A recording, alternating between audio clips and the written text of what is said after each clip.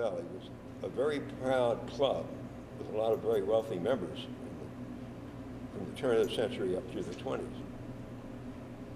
On the ladies' side, uh, they had two ladies who had been runner-ups for the U.S. Amateur Championship.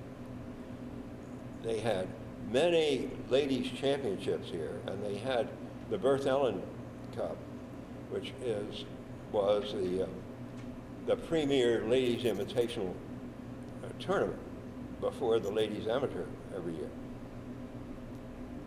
So the ladies had quite a record, and they probably had as good or not, if not better, a collection of great lady players than any club. Uh, Glenna Collett actually ended up as a member over here, although nobody knows it.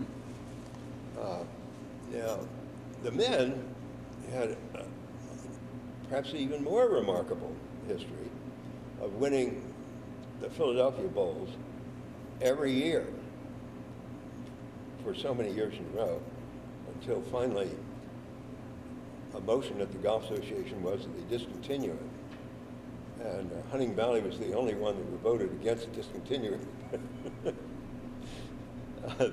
if you're interested, I can show you a lot of those in the trophy room. Uh, and then they, they also had the premier invitation tournament before the, the amateur, the Lynnewood Hall, where Mr. Widener had donated a solid gold trophy. Uh, and it, the first trophy was retired because one guy won it three years in a row.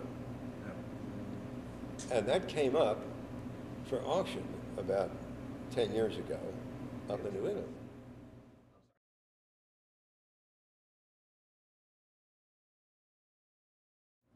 I want, before we're done, to mention uh, the feature interview that I did for golfclubatlas.com. You can find this in the December 2001 feature interview. It covers a great deal of information about Huntingdon Valley, why I wrote the book, the change in conditions uh, over the years. Uh, in, in, the other moment that I have left, uh, I really want to highlight the difference in the standards of play between when I was young and today. An awful lot of this is caused by the great length achieved with the golf ball and the equipment. And some of it is affected by the rough, which is now kept so much shorter. Uh, even with firm greens, the challenges do not remain the same.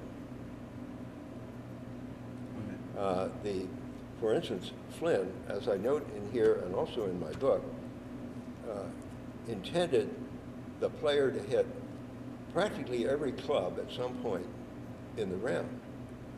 Now, how often are people hitting fairway woods to par fours, or three irons or two irons to par fours?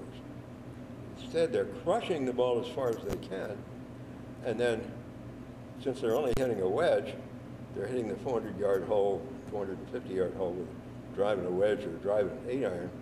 Even if they're in the rough, they can get out. Now, how can we get the USGA to develop a ball which goes the same length, for instance, that Ben Hogan hit it back in before his accident? In his book, Power Golf, for instance, he hit a five iron 150 yards, 155. Now think about that. But I thank the, U the Golf Association for the chance to talk. I hope this has been helpful, and I hope everybody uh, has a successful series of rounds of golf. Thank you so much.